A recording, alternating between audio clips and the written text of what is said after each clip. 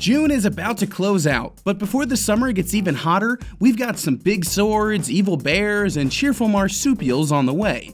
Those aren't all from the same game, although you could make it happen with one of these, uh, more on that later. For now, don't forget to hit that subscribe button to get new releases delivered to you every Sunday. Leaping into the current generation is Crash Bandicoot N. Sane Trilogy.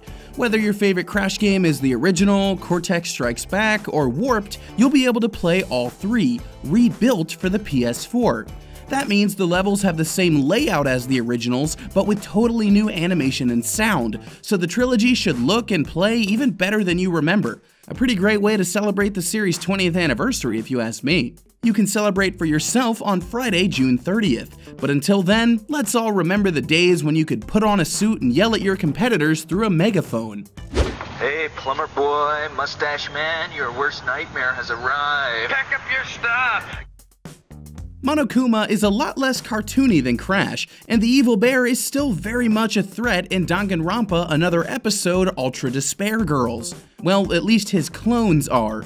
This spin-off takes place in a city overrun by killer Monokuma robots, and it's up to Komaru to end their threat of despair. Unlike the visual novel gameplay of the main series, Ultra Despair Girls is a horror adventure game. Komaru will have to use her hacking gun to shoot enemies, scan the environment for clues, and solve puzzles. If you haven't picked up the original Vita version, you can now join her on this journey on PS4 and PC on Tuesday, June 27th. So, have any of these games been up your alley so far? Think you could make something better? Now you can prove it with RPG Maker Fes. No coding knowledge required here. Just use the interface to create your own stories, worlds, and combat and make the RPG you've always wanted.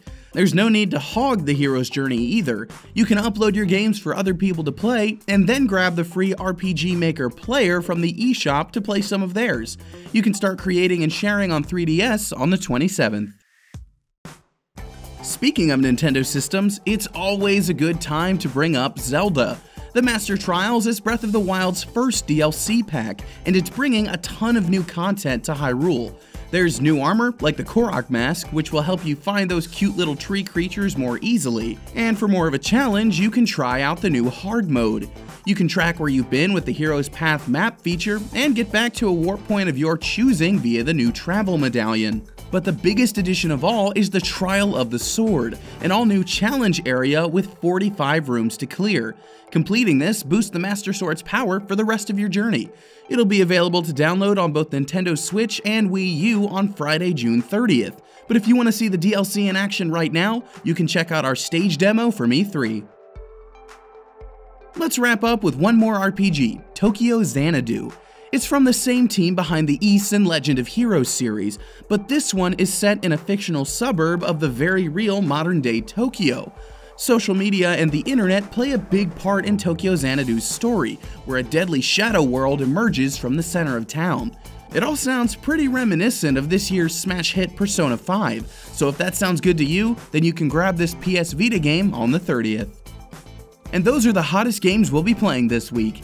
As always, remember that release dates are based on retailer listings and are subject to change. Thanks for watching guys, and I'll be back with more games next week.